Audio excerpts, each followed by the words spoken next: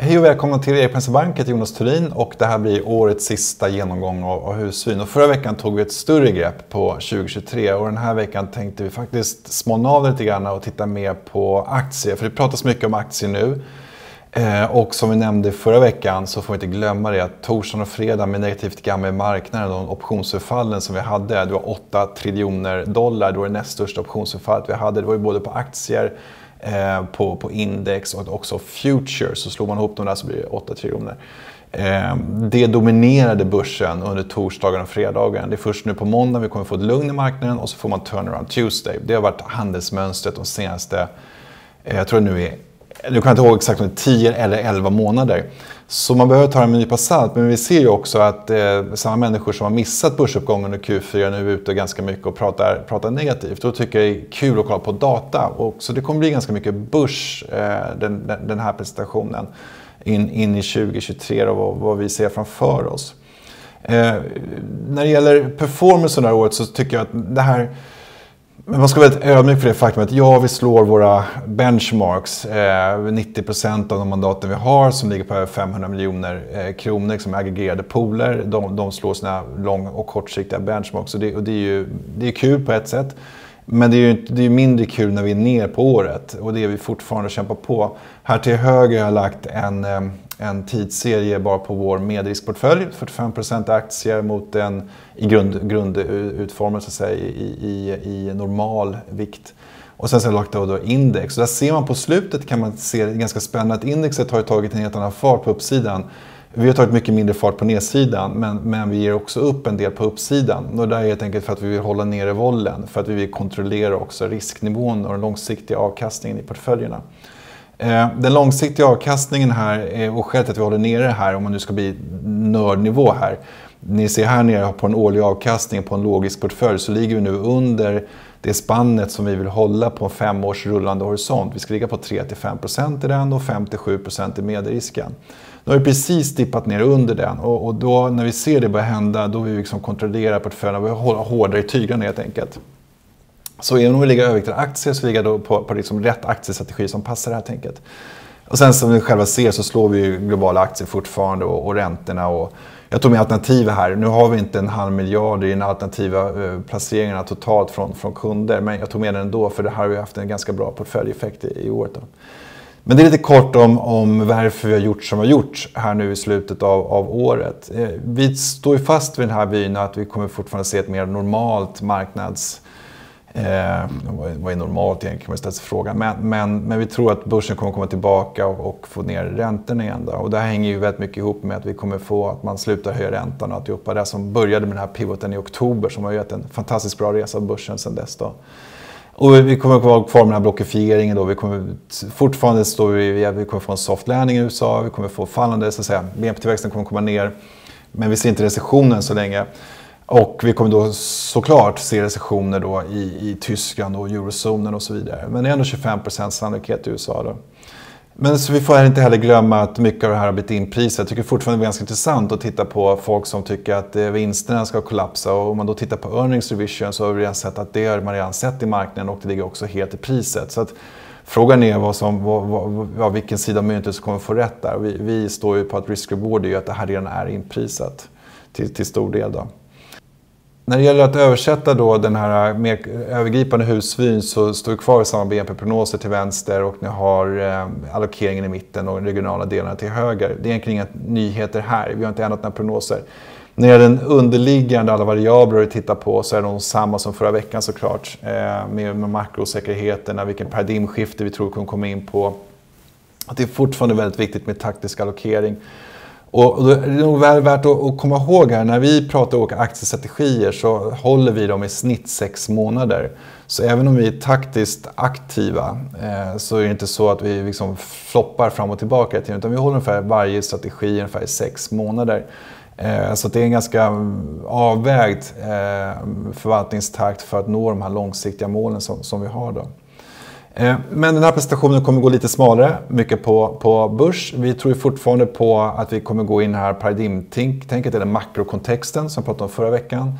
Vi kommer ligga kvar i low BNP-tillväxt, eh, men vi kommer gå från high till en mer normal inflation.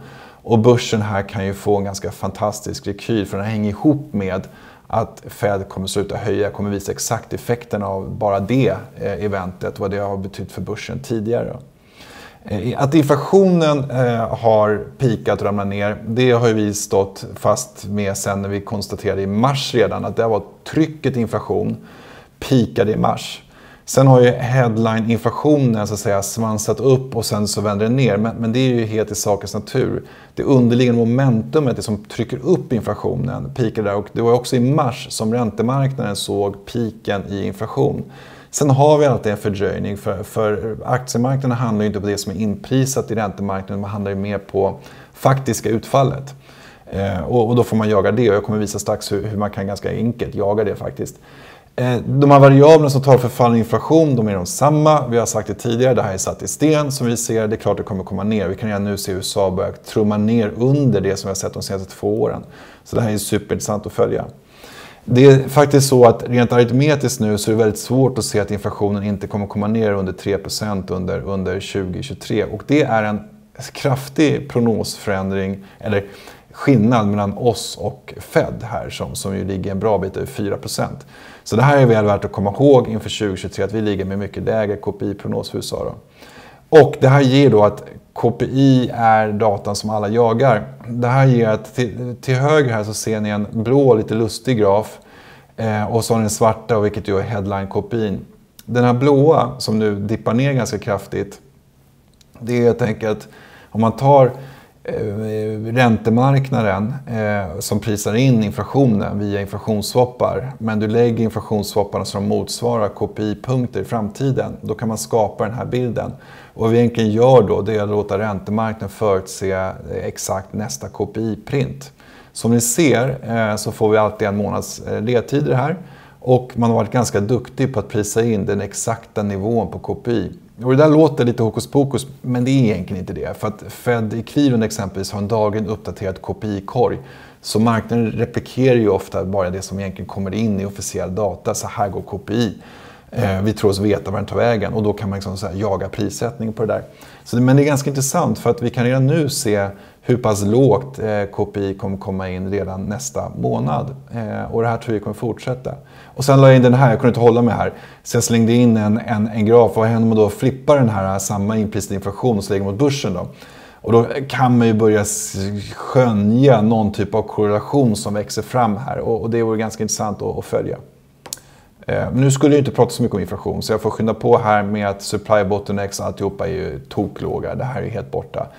Eh, vi är inte i deflationsläget för nästa år med, med att bara ligga en bra bit under Fed. Med, också med en, med en garanterat stopp på Fed och eventuellt också en sänkning tycker vi är tillräckligt långt att gå.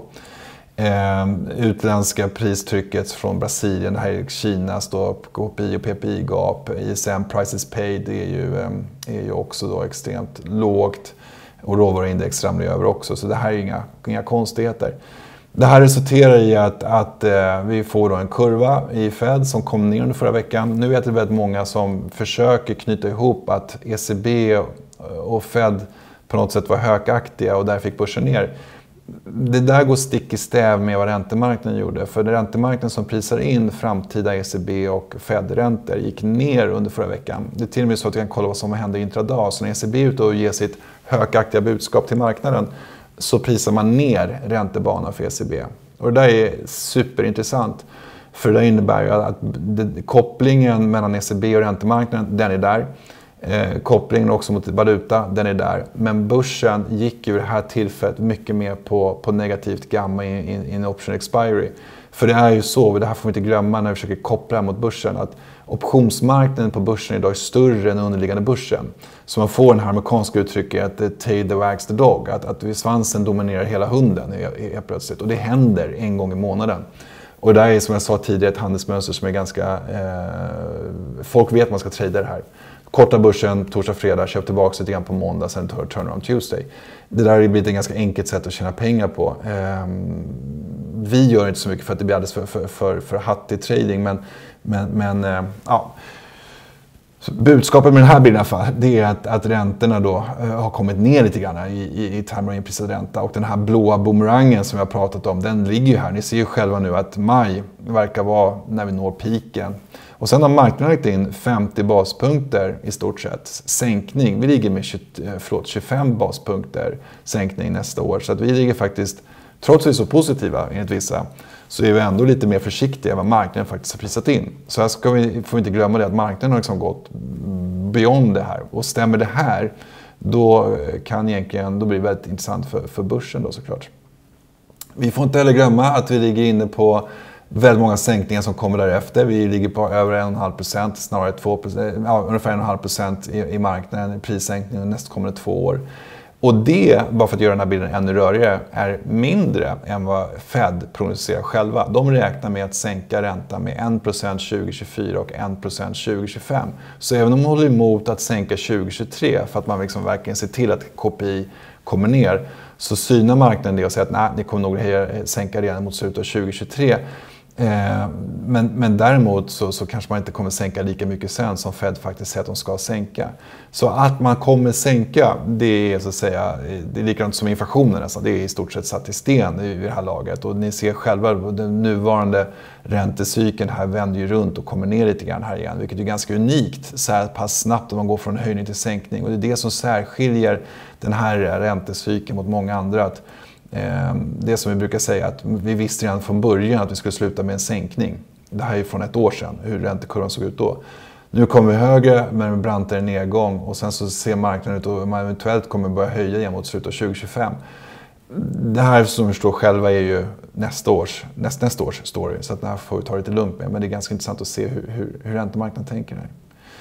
Eh, Fed vet ju också rent lingvistiskt gå in också med, man har pikat sin högaktighet och gå in med dovish eh, som man då kan skoja sig med och lägga mot, mot börs eller, eller mot räntor. Och när det gäller nästa möte så kom ihåg att pivoten i termer av hur futures handlar på Fed, det hände ju då i, i mitten av oktober. Det, det, sen fick vi börsrallyt, så det är inte så konstigt, det här är ju gamla nyheter. Det som är intressant nu när vi står på dagens räntenivå det är att sannolikheten för 25 baspunkters höjning i februari, början av februari eh, är ganska hög, över 60. För 50 då, då är det över 90.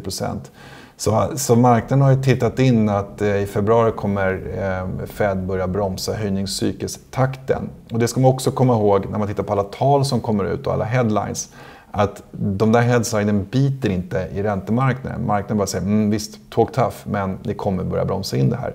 Det kan bli fel, men det intressanta här är vem väljer att handla på. Vi väljer att handla i linje med räntemarknaden, inte jaga eh, tal helt enkelt. För det blir väldigt eh, flip-flopping där.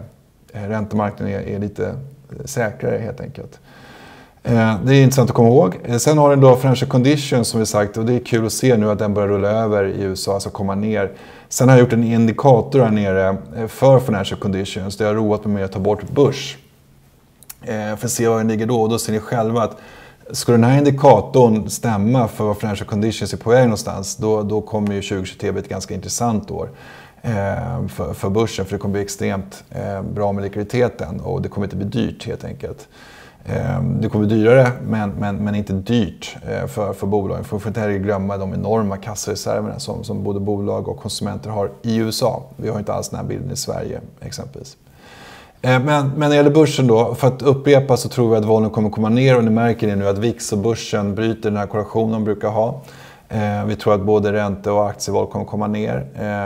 Det är inga nyheter där. När det gäller moving averages, eller förlåt, antalet positiva dagar så tror vi att den här är mean reverting, eh, runt 134 dagar. Det har i alla fall varit datan sedan 1950-talet och när vi är nere och dippar långt under en standardavvikelse, då brukar man komma tillbaka till snittet inom, inom ganska kort. Så det tror vi också kommer stämma inför nästa år.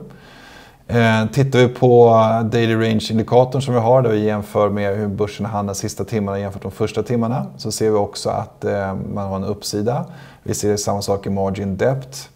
Så att börsen så att säga, ska gå bra, det, det är inga konstigheter. Om börsen då går ner, vad händer med aktiesentimentet? Ja, det stiger. Och det här är också ganska klassiskt vad vi brukar se på optionsförfallsdagarna. Vi får en köre på nedsidan, men sentimentet är liksom, det här plockar vi tillbaka. Eh, och, och, det är lite kul att, att, komma ihåg när man pratar, pratar börs att det har varit så deppigt här i torsdags fredag. Så det var ju tuffa dagar, absolut. Men börssentimentet steg. Eh, och, och, det kan vara lite kul att, att, komma ihåg tycker jag. Den här bilden är ganska omöjlig och det här är egentligen bara en arbetsunderlag jag har. Men jag tänkte jag slänger med den här för, för skojs skull. Eh, för att den visar den blåa här. När den dippar ner kraftigt då får vi kris i amerikansk media. Nu är det ju kavlugnt här. Och jag tycker det är kul att kontrastera den mediebilden man får av börsen i USA som är stabil och positiv med den vi har kanske i Sverige. Eh, och i, i, svenska flöden och alltihopa. Eh, och det är lite kul att komma ihåg. Eh, här nere, mm, ja, behöver man inte nörda ner sig i det, men jag kan bara snabbt förklara de här tidsserierna. Då tar jag ut monetär, fiskal, ränte och inflationsnyheter, hur mycket de påverkar volatiliteten och börsutvecklingen. Och egentligen ser det att vi vill se när, när det blir illa här, då vill vi se liksom vad är det som driver. Är det fiskala här? Är det räntorna här som, som liksom driver börsen då, från nyheterna? Så det, det kan vara ganska kul när det så här hettar till Eh, och, och, hänga med på det där. Eh. Sen har ni då det här med global eh, risk, global stress. Den ser ni växer nu väldigt positivt eh, och det här tycker vi är superkul och den får traction mot börsen. Och det här är ju mest positiva market conditions, man kan kalla det för det. Och då så att säga, tar vi det från räntespreadar, CDSer och lite volar och emerging market spreadar som vi har haft sedan 2021. Så hela 2022 har varit betydligt mer negativt än vi har det nu och det är kul att börsen svarar på det till, till slut. Då. Eh, sen har vi det här med inte marknadsrisken. Och den tycker jag är intressant att se. Det var, var här EKG-grafen visar att när den skjuter i höjden då springer alla till en sida av båten. Ungefär så som jag tänkt när jag, när jag byggt den här. Och sitter alla på en sida av båten, då blir det extremt känsligt. Oftast negativt för börsen. Som ni ser själva, vi drar upp över nollan, vi får en peak på börsen och så vidare. Nu är vi inte där, utan vi har extremt lugnt. Så vi får inte glömma det att den oron vi såg exempelvis då i torsdags och fredags på börsen sprids överhuvudtaget inte till någon annan tillgångsklass. Och, det är väldigt unikt, men det beror ju också på eh, optionsförfallet. Då. Eh, tittar vi på ja, highs, lows och alltihopa så, så ser vi också fortfarande uppsidepotential. Eh, tittar vi på fjärde kvartalet så får vi inte glömma det att det här är ett extremt starkt fjärde kvartal. Eh, och, jag tycker om man ska vara lite utmanande så är det ganska intressant att oftast är det de som missade det här rallyt som är mest negativa mot rallyt. Eh, liksom det är ett hatat rally kan man kalla det för. Men vi får inte glömma att rent statistiskt sett så är ju Q4 ett väldigt starkt kvartal för börsen. Eh, och tittar vi då på dagliga tradingindikator så visar den att vi ska bara ta det lugnt under torsdagen. Det här var ju torsdagen och så fredagen. Eh, och, och, hålla i helt enkelt. Eh, och det är det vi har valt att göra fram genom tisdagen och onsdagen när vi kan på riktigt utvärdera eh, vad som egentligen hände i, i slutet av förra veckan. Och, och så här brukar det vara. Eh, eller det har varit så senaste, senaste året. Och, och hur kommer det sig det här? Det här är ett nytt fenomen. Jag kan ju passa på att lägga in en snabb liten bisats där. Fram till 2021, mitten av 2021, slutet av 2021 så var ju börsen större än optionsmarknaden. Så då hade vi inte riktigt det här beteendet. Under 2022 så har optionsmarknaden vuxit förbi eh, börsmarknaden. Och den kommer sig ofta av att man i USA har utvecklat produkter så att du kan intradag-handla optioner. Så de, de, de förfaller inte ens liksom imorgon, utan de förfaller idag. Så att du sitter och, och, och kör din trading via optionsstrukturoptioner mer än liksom stockpicking som är lite old school, då får man nästan kalla det för, för, för daytraders i USA. Det där har gjort att intradag eh, optionshandeln har blivit extremt stor, vilket ökar stressen när vi då ovanpå det då har de här stora förfallen då, som kanske är då mer på månadsstrukturer. Eh, så det här, är, det här är ganska intressant, ett nytt fenomen som vi egentligen bara får anpassa oss till.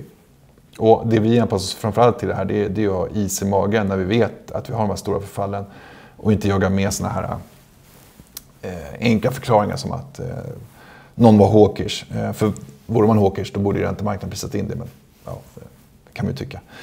Eh, sen har ni Smart Money Index eh, på uppsidan. Den här tycker jag lite sämre om. Det är faktiskt Bloombergs eh, Smart Money Flow Index. Eh, jag tycker inte den har lika bra traction som vårt eget. Eh, samma typ av beräkning egentligen.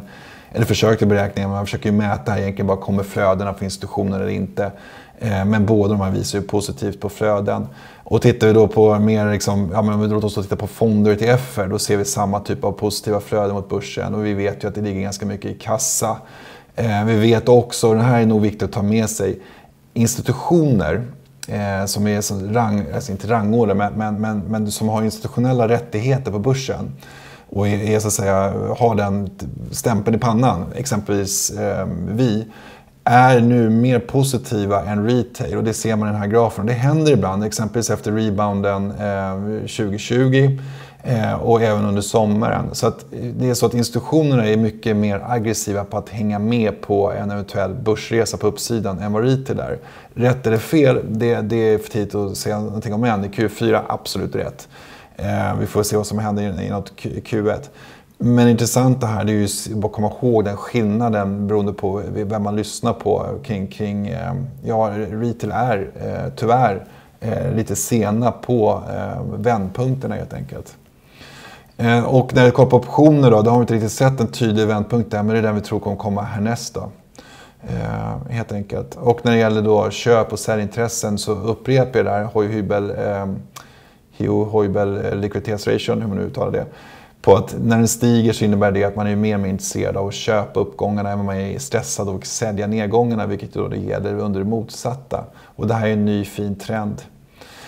Och vi vet dessutom när vi kollar på behavioral finance att vi kommer få en botten och från första gången då sen, sen 2021 är vi tillbaka till att börja addera aktier och det här är en ganska intressant resa med tanke på att man har hela tiden ökat men i minskande takt ökat sina allokeringar till börsen men nu då eh, har man gått in negativt och det gjorde man senast 2001.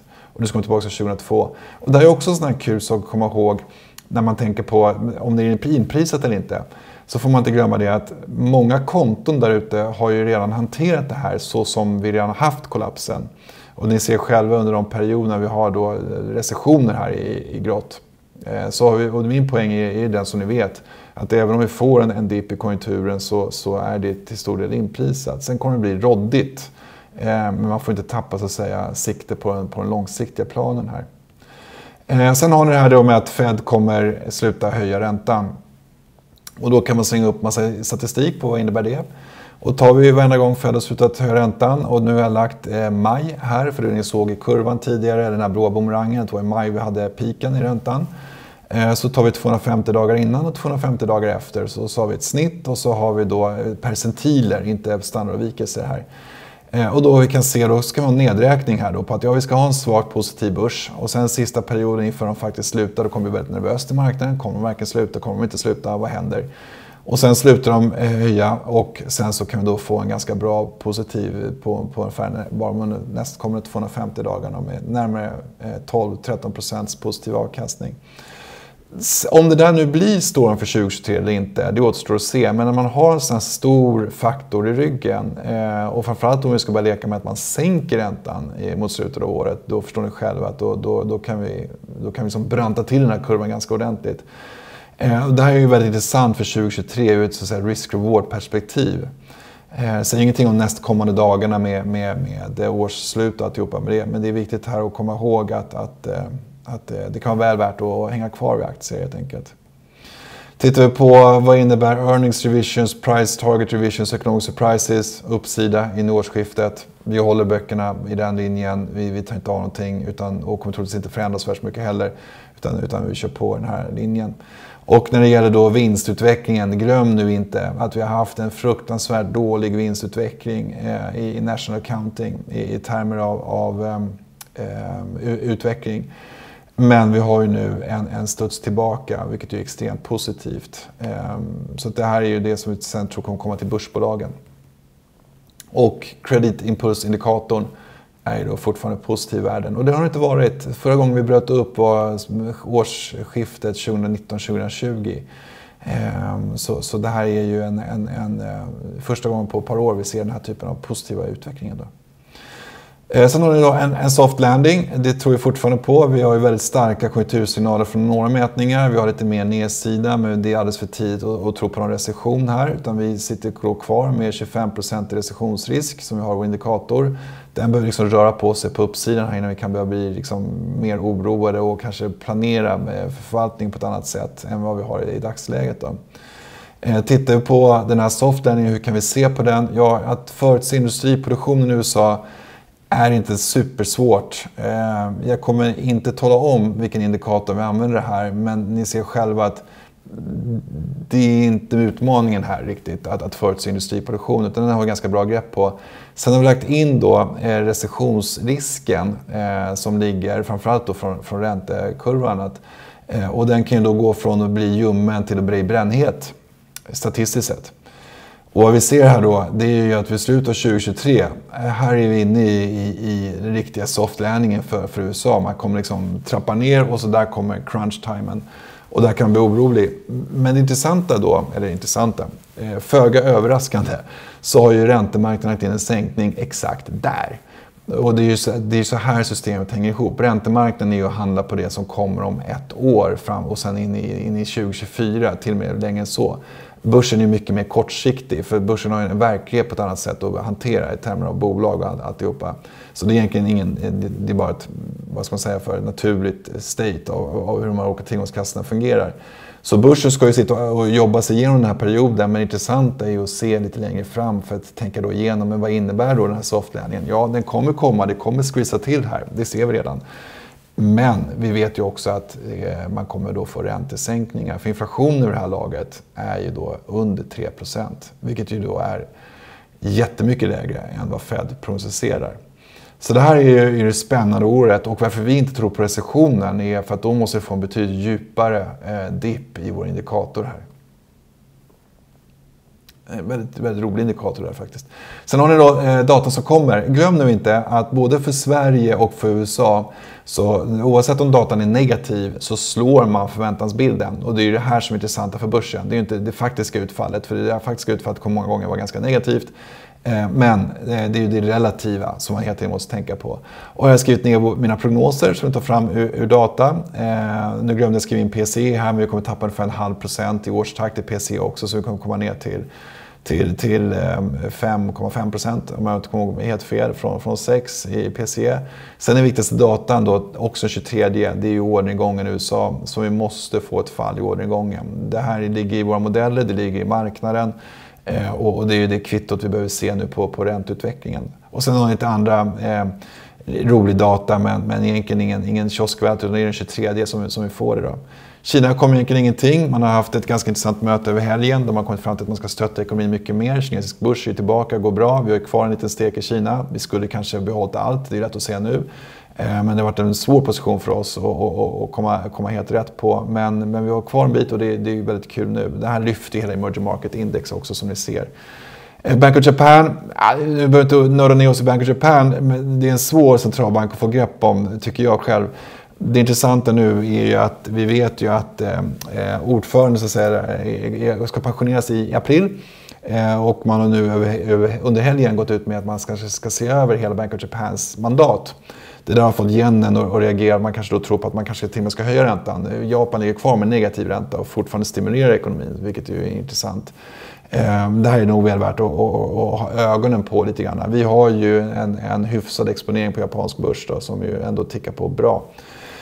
Sen har ni då lite grann i, i eurozonen och IFO att vi, eh, vi tror att vi, vi kommer liksom klara av att hålla oss utanför recessionsnivån på IFO. Eh, men, men det här, vi förnekar ju inte den, den inbromsning som vi ser på något sätt i eurozonen och Germany. Men det är ju lite secondary news nu på något sätt.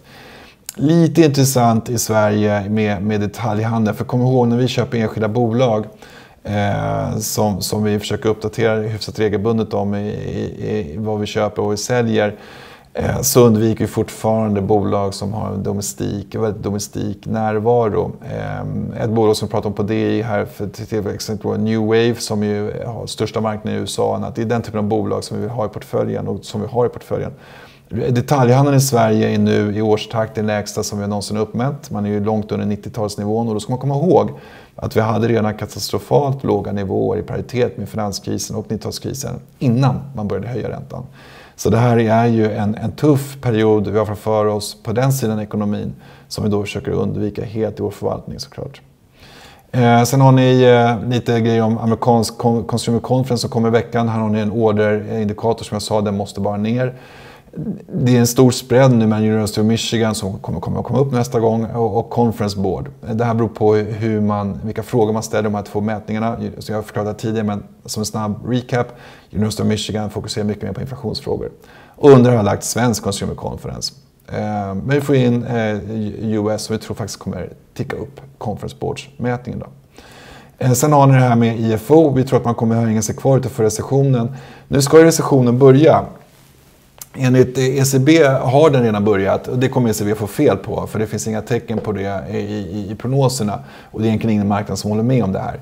Ehm, men intressant är nu att vi ser fortfarande inte den här kraftiga dippen i dagen uppdaterade aktivitetsdata i Tyskland som vi behöver se, som vi såg här under pandemin exempelvis, och sen får man en stabilisering och rebound. Ehm, och sen så kan då riktigt skjuta iväg då den får ger-effekterna vi ser inte den inbromsningen och det, med tanke på att vi redan har prisat in så pass mycket nedsida så är det här förklaringen till varför man, som ni ser också i börsen, eh, italiensk börs har gått bra, grekisk börs har ju börjat ta fart. Eh, eh dansk och, så, och så vidare. Så det, det, det, är ganska intressanta trender och vi har ju valt att exponera oss mot den här rörelsen i Europa. Då. Och här har ni detaljhandelsförsäljningen i Sverige. Då. I vanliga fall när detaljhandeln kollapsar så här mycket så skulle man få en sänkning. Att vi har en kraftigt bra ekonomi, den kollapsar och sen så sänker eh, Riksbanken. Vi, vi har en bra ekonomi, den kollapsar och sen Riksbanken sänker ner beroende på hur stor kollapsen blir. Nu har vi en kollapsande ekonomi och detaljhandel och vi har en riksbank som höjer och vi har en skuldsättningsgrad i Sverige som är den högsta vi har uppmätt. Eh, så det här är ju förklaringen till varför det är väldigt viktigt med att undvika då vissa bolag tycker vi i stockpicking. Den globala aktieförvaltningen, då, då kämpar vi på. Vi har släppt lite mot, mot globalt aktieindex här, men förklaringen är som ni såg. Vi, vi håller hårdare i tyglarna, vi tar ner vollen. Ehm, vi, vi har eh, de översta strategierna som har gått bäst här har vi i stort sett hållit ungefär över 400 dagar i portföljen. Så, så att det, det, är ju, eh, långsiktigheten här betalar sig ganska bra. Ehm, men, men så här ser de olika strategierna ut i alla fall for your viewing pleasure helt enkelt. Eh, det var allt för den här veckan. Vi är tillbaks, eh, om jag inte missminner mig helt fel, runt den 9 januari, den måndagen. Eh, så vi tar ett break här. Men vi kör ju allting under ledigheterna. Så, så skulle någonting extraordinärt hända så, så kommer vi ut med en liten blänkare. Annars får jag önska en trevlig vecka och god jul och gott nytt år. Och sen så syns vi 2023 helt enkelt. Och tack så hemskt mycket för 2022. Tack och hej!